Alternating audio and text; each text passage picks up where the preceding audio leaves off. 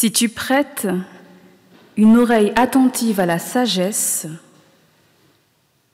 et si tu inclines ton cœur à la raison, oui, si tu appelles l'intelligence et si tu invoques la raison, si tu la recherches comme de l'argent ou un trésor, et si tu la déterres comme telle, alors tu comprendras la crainte du Seigneur et tu trouveras la connaissance de Dieu.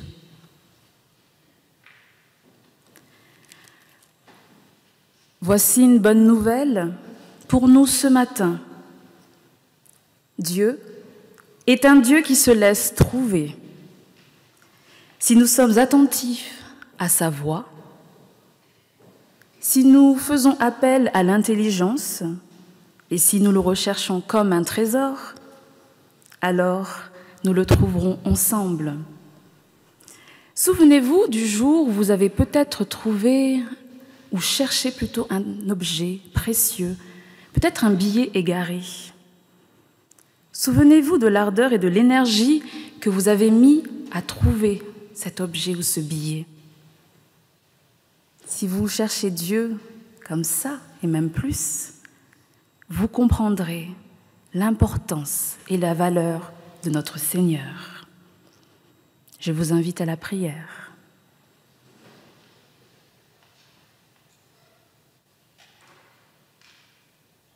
Ce matin, nous sommes venus pour te chercher,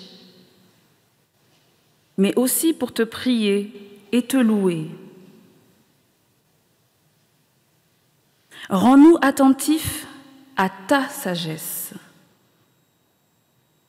Incline notre cœur vers l'Évangile et éveille notre intelligence à ta parole. Amen.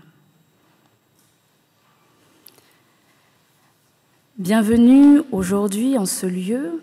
Le soleil et la fraîcheur du matin vous ont accompagné. Et pour ainsi commencer à louer ensemble le Père, je vous invite à vous lever et à fredonner ensemble le cantique numéro 41 dans le cœur à cœur, Magnifique est le Seigneur. Nous fredonnons ensemble le 41, Magnifique est le Seigneur.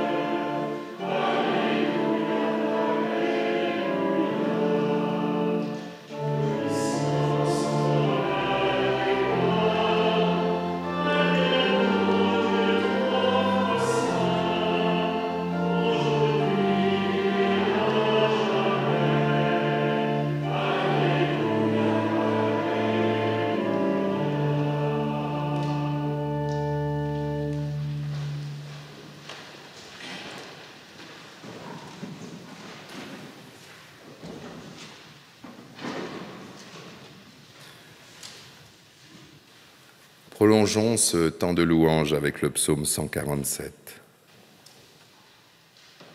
Loué soit l'Éternel.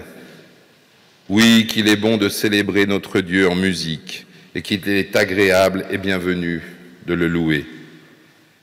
L'Éternel rebâtit Jérusalem, il y rassemblera les déportés du peuple d'Israël. Ceux qui sont battus, il les guérit. Il pense leurs blessures. C'est lui qui détermine le nombre des étoiles, et à chacune d'elles, il donne un nom. Notre Seigneur est grand, son pouvoir est immense, son savoir-faire est sans limite. L'Éternel soutient les petits, mais il renverse les méchants et les abaisse jusqu'à terre. Chantez pour l'Éternel d'un cœur reconnaissant, célébrez notre Dieu en jouant de la lyre. Il couvre les cieux de nuages, prépare la pluie pour la terre, fait germer l'herbe sur les monts. Il donne leur pâture aux animaux, aux petits du corbeau que la faim fait crier. La vigueur du cheval n'est pas ce qui compte à ses yeux, ni la force de l'homme ce qui l'agrée. Mais l'Éternel agrée ceux qui le craignent et ceux qui comptent sur son amour. Ô toi Jérusalem, célèbre, loue ton Dieu, ô Sion, car il a renforcé les verrous de tes portes, il a béni tes fils chez toi. Il fait régner la paix sur tout ton territoire et il te rassasie de la fleur du froment. À la terre, il envoie ses ordres et promptement court sa parole. Il fait tomber la neige, on dirait de la laine, et il répand le givre, on dirait de la cendre. Il lance sa glace en grêlon, qui peut supporter sa froidure? Dès qu'il en donne l'ordre, c'est le dégel. S'il fait souffler son vent, voici les eaux qui ruissellent. C'est lui qui commande sa parole à Jacob, et ses commandements, ses lois à Israël. Il n'a agi ainsi que pour aucun autre peuple, aussi ses lois leur restent inconnues. Loué soit l'Éternel. Je vous invite à la prière.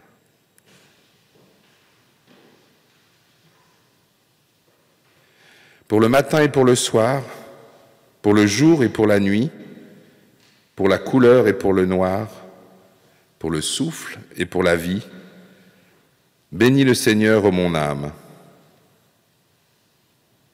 Pour le fil de son histoire sur nos vies partagées, que repose en nos mémoires sa grâce, sa fidélité, bénis le Seigneur, ô mon âme. Pour les semences d'évangile plantées en notre terre, son souffle sur notre argile qui donne vie à la poussière. Bénis le Seigneur, mon âme. Pour la mer et pour les îles, les montagnes et le désert, sa parole dans nos exils et le silence du calvaire. Bénis le Seigneur, ô mon âme.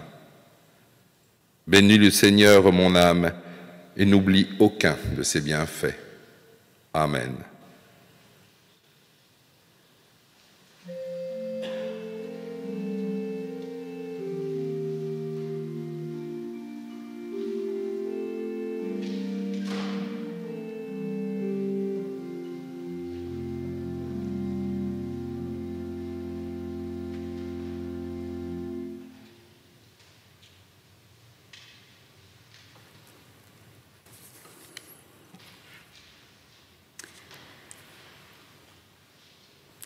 Des élèves ont demandé à un enseignant, à un maître, Dans notre tradition, il est écrit que notre père Abraham gardait toutes les lois de Dieu.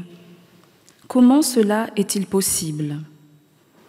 Puisque la loi a été donnée sur le mont Sinaï depuis plusieurs siècles après Abraham.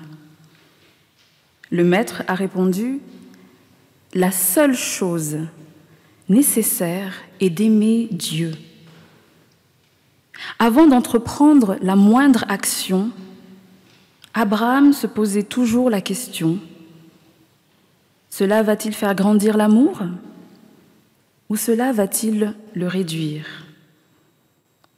En répondant à ces questions, il accomplissait la loi. Un autre maître, Paul de Tarse, a dit à peu près la même chose. Vous connaissez les commandements.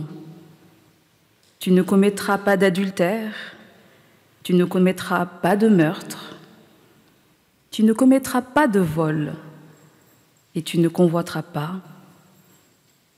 Cela et tous les autres se résument dans cette seule parole.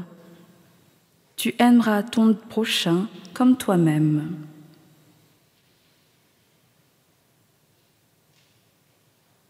Prions ensemble pour reconnaître nos limites et accordons-nous après un temps de silence pour parler à Dieu.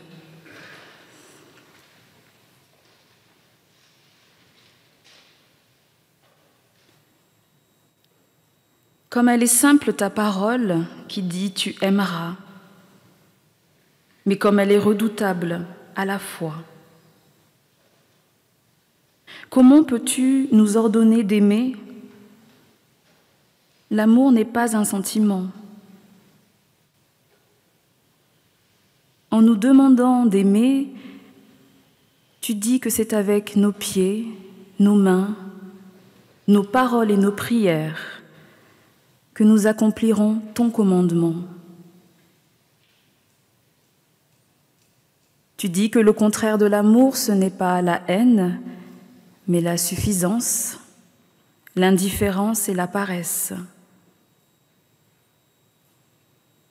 Pardonne notre suffisance qui nous enferme sur nous-mêmes, qui nous empêche de nous ouvrir à notre prochain. Cette suffisance qui nous fait tout voir à partir de notre propre personne, qui nous isole dans des murs d'égoïsme et d'insouciance.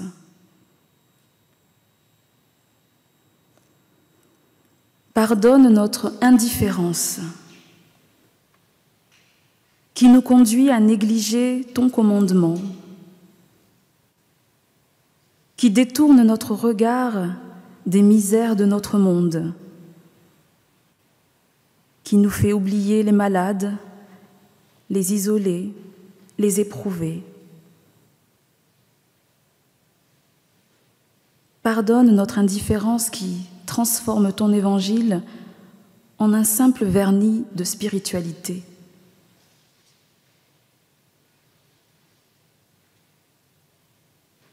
Pardonne également notre paresse.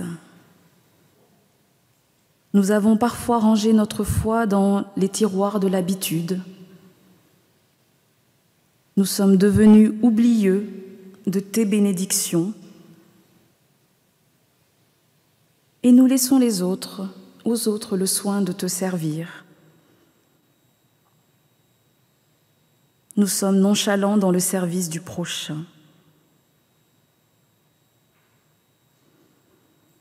Seigneur, c'est toi qui nous as aimés le premier. Donne-nous d'accueillir ton amour pour aimer à notre tour. Et entends ce que notre cœur élève vers toi.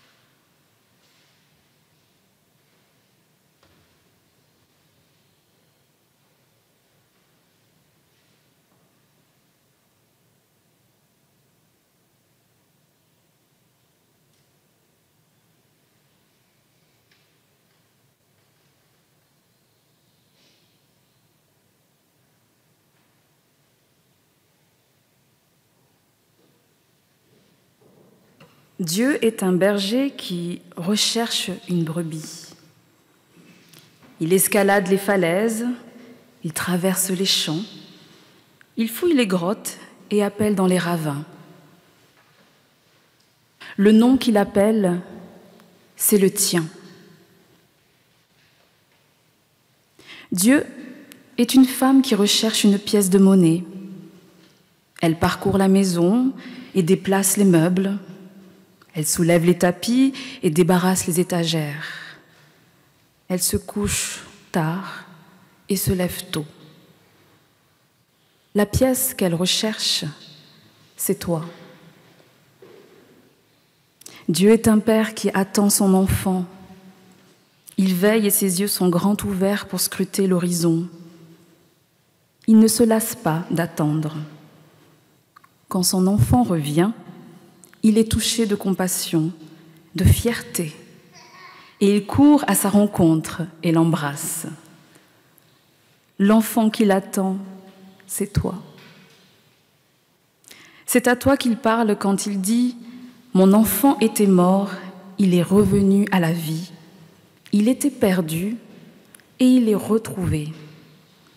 Longtemps Dieu t'a cherché, longtemps il t'a attendu et aujourd'hui il t'a trouvé, son pardon et ton salut.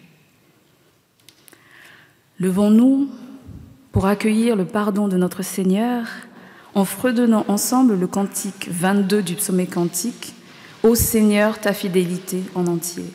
Le psaume 22, cantique 22.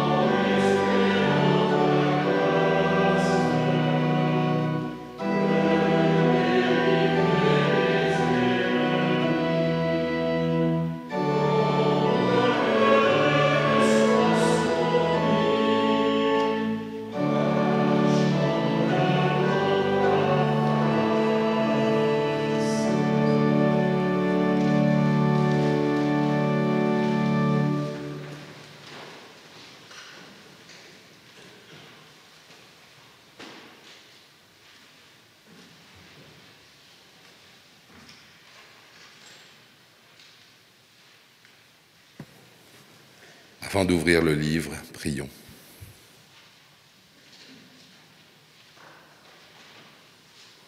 Père, toi qui par ton esprit assembles les croyants du monde entier, où qu'ils se trouvent, inspire celles et ceux qui parlent et rendent attentifs celles et ceux qui écoutent, afin que l'Évangile soit la vérité de notre foi, la source de notre amour, la fermeté de notre espérance. Amen. Notre première lecture se trouve dans le livre d'Ésaïe au chapitre 12.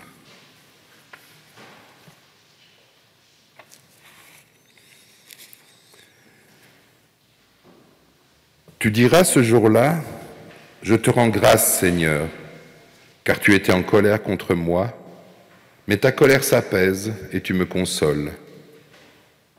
Voici mon Dieu sauveur, j'ai confiance et je ne tremble plus, car ma force et mon chant, c'est le Seigneur. Il a été pour moi le salut.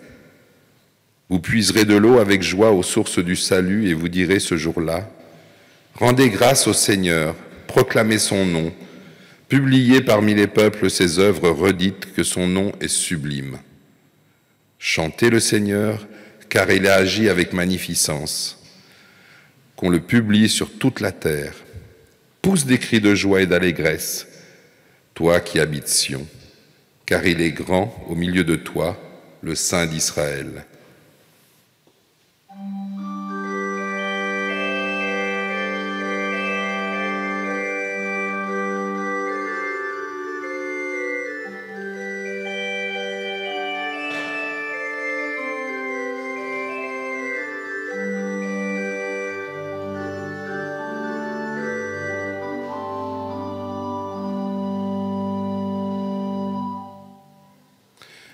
Poursuivons avec une lecture dans l'évangile de Jean au chapitre 15. Comme le Père m'a aimé, moi aussi je vous ai aimé. Demeurez dans mon amour. Si vous observez mes commandements, vous demeurerez dans mon amour, comme en observant les commandements de mon Père, je demeure dans son amour. Je vous ai dit cela pour que ma joie soit en vous et que votre joie soit parfaite. Voici mon commandement. Aimez-vous les uns les autres comme je vous ai aimé. Nul n'a d'amour plus grand que celui qui se dessaisit de sa vie pour ceux qu'il aime. Vous êtes mes amis. Si vous faites ce que je vous commande, je ne vous appellerai plus serviteur, car le serviteur reste dans l'ignorance de ce que fait son maître. Je vous appelle ami parce que tout ce que j'ai entendu auprès de mon Père, je vous l'ai fait connaître. Je n'ai pas, ce n'est pas vous qui m'avez choisi, c'est moi qui vous ai choisi et institué pour que vous alliez, que vous portiez du fruit et que votre fruit demeure, si bien que tout ce que vous demanderez au Père en mon nom, il vous l'accordera. Ce que je vous commande, c'est de vous aimer les uns les autres.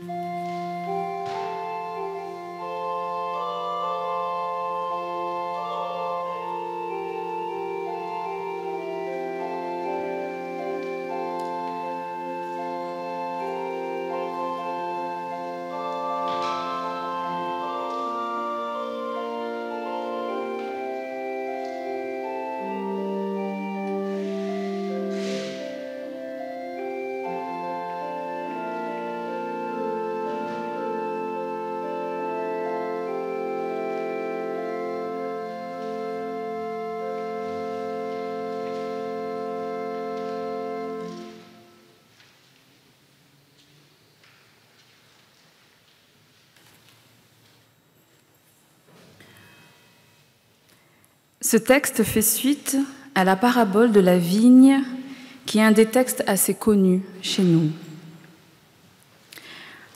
Dans le texte du jour, Jésus essaie de préparer ses disciples à sa mort, à ce qui va se passer avant et après. Et comme l'évoquait l'image du cep et des sarments, il leur délivre un message qui doit les faire tenir ensemble et rester fidèles. C'est un message dont l'actualité ne s'est jamais finalement démentie et qui vaut pour nous peut-être encore aujourd'hui. Ça paraît un texte simple, avec une répétition dans ce message. Et pourtant, je trouve qu'il y a une exigence forte à travers le message donné. Il y a les mots amour et aimer qui sont au cœur de ce texte. Et attention, il faut s'entendre là-dessus. Il y a différents sens aux mots amour, aimer. L'évangéliste n'utilise pas celui qui désigne l'amour filial, amical, ni celui utilisé pour l'amour-passion sensuel, mais il reprend celui qui est aussi décrit par Paul dans 1 Corinthiens. Je vous le rappelle, l'amour est passion, il rend service, il excuse tout, il croit tout, il espère tout et endure tout. C'est de cet amour que Dieu a aimé son Fils. Et c'est de cet amour que Christ nous a également aussi aimés et qui nous invite à aimer les autres. Jésus n'invite pas ses disciples à un amour comme ça, qui est un petit peu biaisé, trop émotionnel. Non, il leur demande et leur donne même demeurer dans mon amour. C'est un impératif. Et plus loin, il dira encore, Voici quel est mon commandement, aimez-vous les uns les autres. Mais on peut aussi s'interroger sur le fait, est-ce qu'on peut réellement commander à quelqu'un d'aimer quelqu'un d'autre? À notre époque, en plus, ça paraît un petit peu étrange et l'histoire du consentement peut peut-être être un souci. Mais pour les disciples, comme pour nous, lecteurs de l'Ancien Testament, ce n'est pas quelque chose d'étonnant. Rappelez-vous ce qu'il était dit dans Deutéronome ou Lévitique. Tu aimeras ton Dieu de tout ton cœur, de toute ton âme et de toute ta pensée. Et tu aimeras ton prochain comme toi-même. Ce sont là déjà des commandements qui nous sont donnés, ordonnés. Autre question également, est-ce que l'amour finalement peut cesser ou peut disparaître? Il semblerait que si l'on fait attention en fait à ce texte, il n'est pas une part émotionnelle. Il y a quelque chose dans l'incitation. Il y a aussi ce qui est dit et le temps utilisé. En préparant ce message, j'ai regardé dans les versions français courant qui mettent les verbes au présent en disant je vous aime comme le Père m'aime. Mais le grec, les mots en grec sont bien en fait au passé. Je vous ai aimé, dit Jésus, comme le Père m'a aimé. Est-ce que ça veut dire que c'est fini, que ce n'est plus d'actualité et que Dieu ne nous aime plus? La réponse à cette question, elle est dans le texte. Jésus nous rappelle que c'est le Père qui l'a aimé en premier. Et ça, c'est le préalable de tout. Le Père aime d'abord, il donne un amour dès le commencement. Il aime à jamais. Et Jésus, donc, demeure dans son amour, dans l'amour du Père. Dieu a aimé son Fils, Christ, et lui-même nous aime, lui en premier. Et désormais, nous également aussi, nous demeurons dans cet amour. Celui qui a aimé et a donné son amour, il ne le retire pas. Il ne peut pas le retirer, ne le souhaite pas. Et celui qui en est ceux et celles qui demeureront dans cet amour. C'est une certitude qui nous est donnée. Peut-être que cela semble logique pour nous, mais parfois il est quand même bon de se le remettre en tête. Parce qu'il y a là l'exigence de aimer, aimer son prochain, aimer celui et celle qui, sur le principe, a les mêmes valeurs que moi, mais n'est pas pareil que moi. Il n'interprète peut-être pas les commandements comme moi. Il a des pensées qui me dérangent, et pourtant je dois quand même l'aimer. Pourquoi? Parce que le Père nous a aimés en premier. Il a envoyé Christ pour nous. Et à travers le Christ, nous avons une relation avec Dieu.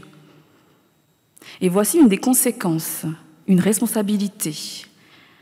Si vous observez mes commandements, vous demeurez dans mon amour. De même, moi, j'ai observé les commandements de mon Père, dit Jésus, et je demeure dans son amour.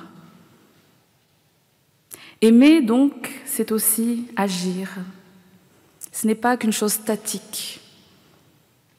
C'est une façon de vivre, peut-être aussi une décision. L'amour de Dieu est gratuit et nous a été donné. Est-ce qu'il nous est possible de ne pas l'accepter? Oui, tout à fait. Nous sommes toutes et tous libres. Mais seulement la question c'est, à partir de là, quelle est notre relation à Christ?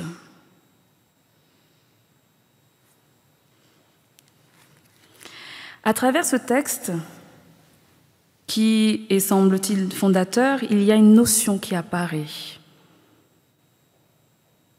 La notion d'amitié. D'un seul coup, Jésus, qui a cheminé avec les disciples, n'est plus seulement que le maître, le rabouni, celui qui est au-dessus. D'un seul coup, Jésus leur dit que ils ont reçu l'enseignement, ils le connaissent. Ils sont eux-mêmes appelés aussi à le vivre et en témoigner à leur tour. Et c'est en ça que les disciples deviennent ses amis et sont ses amis. Il y a vraiment une part active et qui nous est aussi donnée aujourd'hui. L'amour de Dieu, oui, on l'accepte, mais quelles en sont les conséquences pour nous? Nous avons aussi une responsabilité en tant que communauté, mais aussi individuellement. L'amour de Dieu, c'est quelque chose de gratuit qui nous est donné, accepté ou pas selon chacun, mais finalement, si nous acceptons, si nous disons oui à cet amour, quelles répercussions pour nous et pour nos familles et amis alentours Nous sommes aussi responsables du message dont nous avons hérité. Nous entendons chaque dimanche ou de temps en temps la parole de vie. Mais comment est-ce qu'elle chemine en nous? Comment est-ce qu'on témoigne autour de nous? Aucun d'entre nous n'est parfait. On ne fait pas les choses euh, de façon parfaite. parfois, on a du mal aussi à aimer, notamment aujourd'hui quand j'entends l'actualité de celles et ceux qui sont vaccinés, de celles et ceux qui veulent qu'on réouvre en fait tout d'un seul coup. On peut avoir des opinions différentes, on peut débattre. Mais l'amour, qu'est-ce que c'est pour nous réellement? Comment est-ce qu'on le vit? Et est-ce qu'on est vraiment conscient que Dieu nous aime comme nous sommes, avec nos parfaites imperfections. Il nous aime en premier. Et nous, nous sommes appelés à répondre à ça et à être, à devenir, à annoncer, à proclamer. Parce que c'est ça la mission que Jésus donne à ses disciples. Vous avez été au service d'une parole de vie. Vous l'avez vue. Je vous ai enseigné. Vous l'avez vécu. À vous maintenant de le passer à d'autres. Et ces autres le passeront encore et encore. Et finalement, c'est peut-être pour ça aussi que nous sommes réunis aujourd'hui. Nous en sommes au bénéfice. Une mission nous est donnée. Et comme assurance, nous avons aussi le fait que nous pouvons demander au Père. Jésus nous renvoie et nous adresse à nouveau à la source, le Père. La mission est de lui demander, au nom de Jésus, de faire intervenir son amour pour nous au service des uns des autres. Et il nous demande, il donnera ce que nous demandons. C'est là aussi finalement le rôle de l'ami, notre rôle dans sa pleine dimension. Nous détenons, nous, serviteurs, choisis et établis par le Christ, ce pouvoir extraordinaire d'être entendus de Dieu. Ainsi, la crainte, peut-être le vertige ou l'orgueil peuvent nous saisir avec un tel pouvoir et l'ampleur de la mission. Mais souvenez-vous d'une chose, si le Christ nous a choisis, nous pouvons être sûrs que nous saurons observer son commandement d'amour, car il nous donne la capacité, la force et le moyen d'aimer.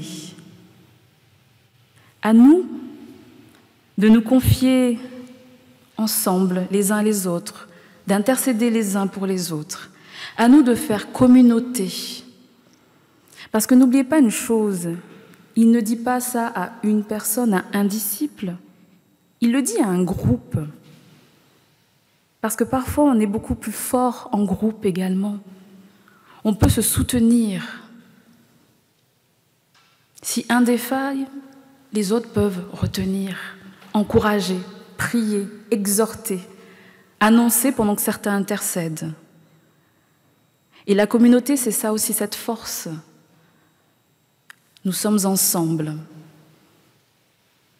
avec de la pudeur parfois, mais nous avons besoin des uns des autres. Nous nous portons les uns les autres et nous sommes appelés ensemble, non sans difficulté, mais avec l'assurance d'être accompagnés. Amen.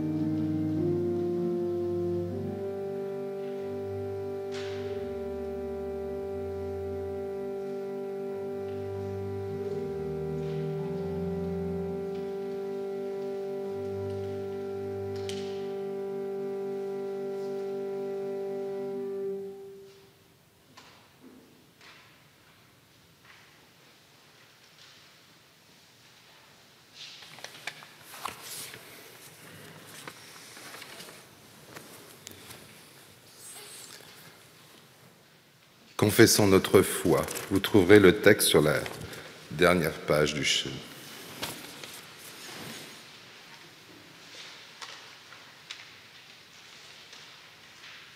Nous le disons ensemble. Je crois en Dieu, notre Père, Créateur du ciel et de la terre, Créateur des choses visibles et invisibles.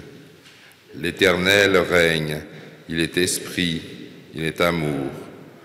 Je crois en Jésus-Christ, son Fils bien-aimé, notre Seigneur. Il est venu nous apporter la lumière et le salut. Il est le chemin, la vérité et la vie. Nul ne va au Père que par lui. Et à ceux-ci, tous reconnaîtront que nous sommes ses disciples, si nous avons de l'amour les uns pour les autres. Je crois en l'Esprit Saint, qui est Dieu agissant dans son peuple et dans nos cœurs. L'Esprit Saint nous offre par grâce de don de devenir enfant de Dieu. Je crois au royaume de Dieu, à l'amour plus fort que la mort et à la vie qui dure toujours. Amen. Et je vous invite à vous lever pour chanter le cantique 441. Seigneur, tu cherches tes enfants.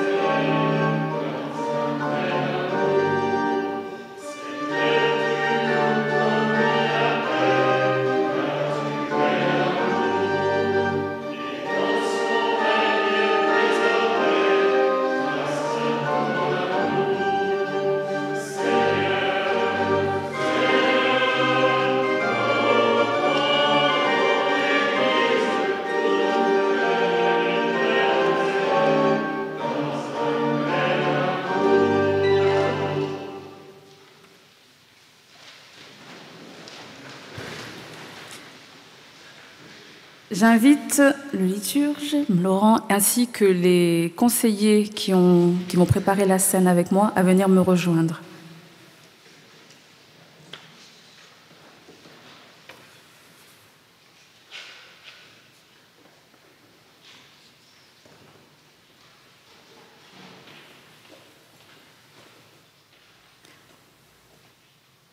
Et nous prions.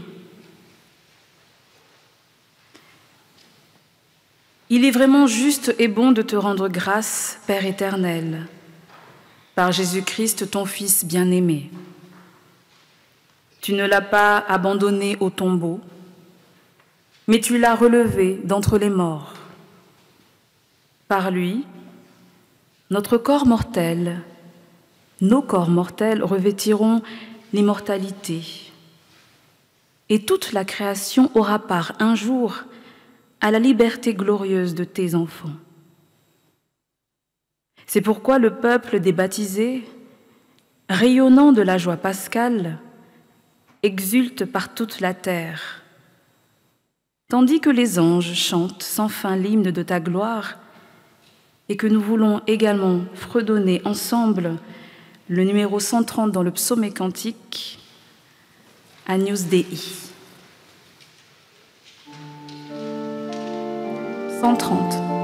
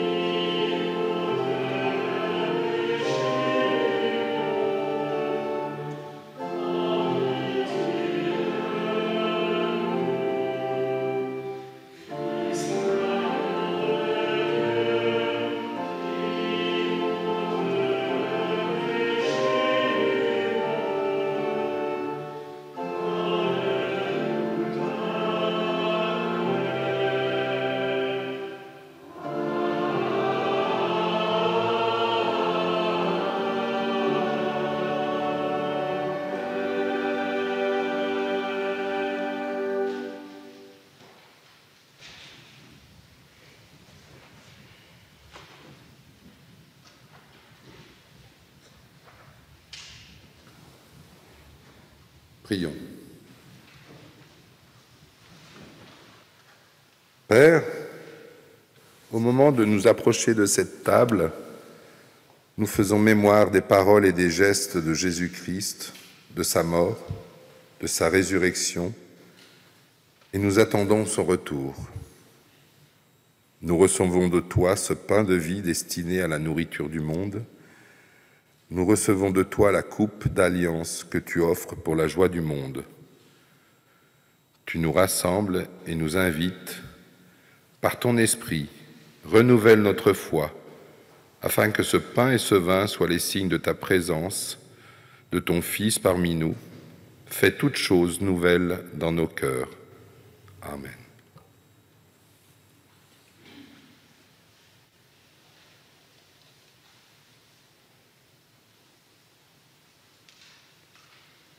Le pain que nous partageons est communion au corps du Seigneur Jésus-Christ.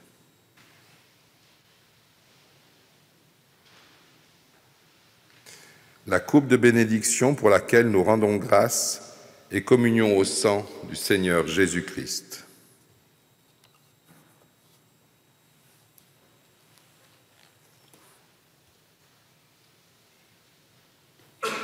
Voici le repas que nos mains ont préparé, mais c'est le Seigneur qui nous invite. Voici la table qui est dressée, mais c'est lui qui nous accueille. Voici la joie que nous avons désirée, mais que lui-même nous donne. Nous sommes toutes et tous invités au repas du Seigneur, à venir communier ensemble, à s'avancer à travers les allées centrales et à rejoindre la table en prenant pain, vin, en enlevant son masque, en communion et en repartant vers les allées. Venez, car tout est prêt.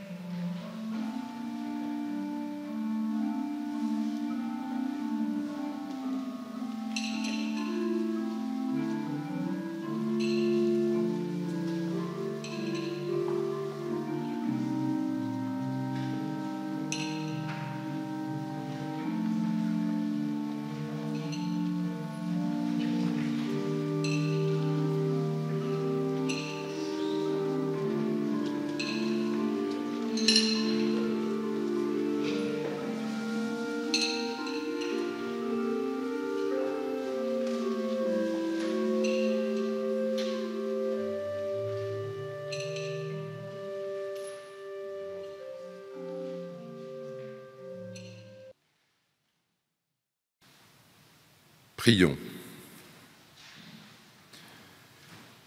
Nous te remercions, Père, pour le repas que nous avons pris ensemble. Accorde-nous de vivre de cette nourriture, de te célébrer toujours avec joie et d'être ainsi témoin de Jésus-Christ. Seigneur, tu connais notre situation, mais nous souhaitons également te prier pour celles et ceux qui ont faim. Fais-nous découvrir la joie du partage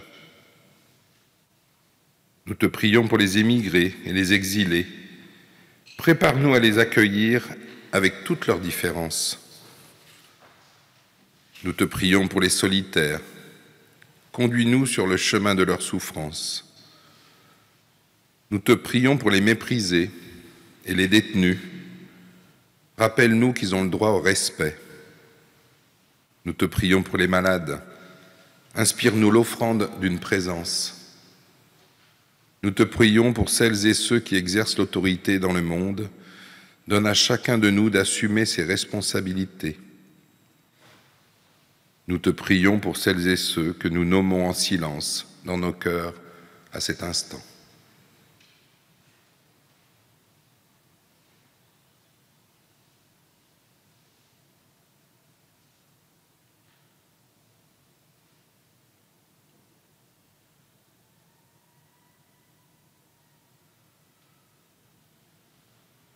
Prions pour ton Église. Apprends-lui à rester fidèle. Viens te révéler encore et toujours plus à nous, Père.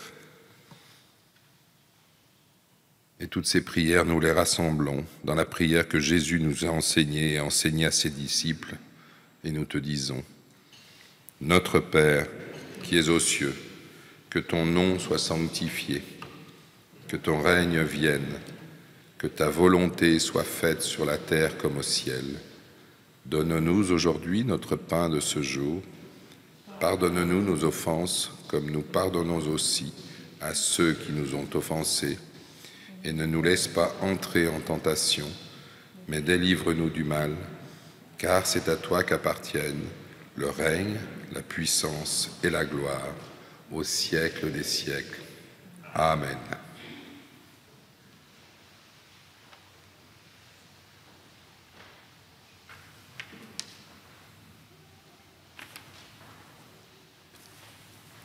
Nous voici arrivés au temps des annonces. Bonjour. Voilà. Euh, au fait, je suis très contente de vous annoncer que l'association d'Air va reprendre ses concerts avec les assouplissements des mesures sanitaires. Donc, euh, ça fait plus d'une année qu'on n'a pas donné concert suite à la pandémie Covid. Et l'année 2020 a été très difficile pour nous. Donc, du coup, avec l'assouplissement des mesures sanitaires, 50 personnes maximum, on s'est dit qu'on va quand même profiter de cette, euh, possibilité pour organiser un concert. Donc, c'est prévu pour euh, Pentecôte, donc le, 23 mai, et ça tombe que c'est le jour de mon anniversaire. Donc, on a donc décidé de. On a donc décidé de fêter Pentecôte et c'est une joie pour moi parce que Pentecôte, c'est ma fête préférée de l'Église. On sait que c'est la descente du Saint-Esprit que Jésus nous avait promis pour euh, ses fidèles. Donc, ça sera la fête de Pentecôte, mon anniversaire et la reprise des concerts de l'association. Vous êtes invités à venir nombreux et les, les, flyers seront disponibles dès lundi au centre paroissial, au secrétariat, voilà, et ici également. Merci beaucoup. Bon dimanche. Ça sera, oh, c'est vrai, ça sera au centre euh, paroissial à 17h. Donc dimanche 23 à 17h. Merci. Oui, bonjour et bon dimanche. Une autre annonce pour Pentecôte.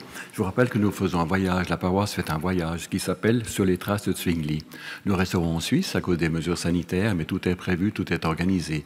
Je voulais simplement vous dire, il nous reste une chambre de disponible qui peut être utilisée soit par une personne seule, soit par un couple. Voilà, donc si vous êtes intéressé du 19 au 23 mai, juste avant Pentecôte et pendant Pentecôte, pour venir sur les traces de Zwingli, c'est notre réformateur de Suisse allemande, on va dire de la ville de Zurich. Vous êtes les bienvenus. Vous contactez dès demain matin le secrétariat ou chaque matin, 8h30, 11h30, et vous dites simplement j'aimerais participer. À celles personnes ou d'autres personnes qui seraient intéressées, je vous rappelle que demain soir à 19h, ici à côté au foyer, nous faisons la séance d'information. Donc si cela vous intéresse, que vous veniez ou pas, que vous soyez pro ou pas du tout, euh, vous pouvez venir demain soir, 19h, vous apprendrez tout en une heure de conférence, en 19 et 20h, par un prof d'histoire qui sait exactement de quoi il parle, en français. Voilà, donc vous êtes les bienvenus, il reste une place si vous voulez, pour une personne ou pour un couple. Bienvenue, c'est à Pentecôte, merci beaucoup et belle journée. Voilà, tout à l'heure à la sortie, nous vous invitons à remplir et à signer deux cartes de vœux. La première, c'est pour notre cher Vincent, notre ancien organiste, qui est devenu papa. Il est devenu papa. On peut l'applaudir, hein, le papa, ça s'applaudit. Alors la deuxième, c'est pour notre concierge Christina, qui est en arrêt maladie. Alors on va remplir les cartes tout à l'heure à la sortie. Pour les personnes qui ne pourront pas le faire tout à l'heure, ces cartes seront toujours disponibles au secrétariat. Vous allez pouvoir les remplir au secrétariat. Ça, c'est la première annonce. La deuxième annonce, c'est en vue de l'Assemblée générale de notre paroisse qui se tiendra le 20 juin. Nous l'espérons vraiment que cette Assemblée générale se tienne le 20 juin. Alors nous vous invitons à aller sur le site Internet, consulter les statuts de paroisse qui ont été révisés. Vous les consultez parce que le 20 juin, s'il y a l'Assemblée générale, nous allons les valider. Alors pour les personnes aussi qui ont des difficultés pour le numérique, qui n'ont pas les moyens numériques, ces statuts sont consultables au secrétariat. Merci. Martine. François a parlé du site internet. Euh, alors, la semaine prochaine, le site va faire peau neuve, donc il risque d'y avoir peut-être de petits bugs pour les, premières, les premiers temps. Donc, si jamais, excusez-nous, mais on le remet à jour. Il y aura euh, donc Néré, Michael Cagnoni et puis moi-même, on va essayer de, voilà, de le transformer un petit peu. Donc, pour l'instant, si vous voyez qu'il y a des choses qui vont pas, ben, dites-le moi, appelez le secrétariat pour dire ah, on n'arrive pas peut-être à cette page, on n'arrive pas à l'ouvrir. Comme ça, on, améliorera au fur et à mesure. Mais je me réjouis de ce nouveau site.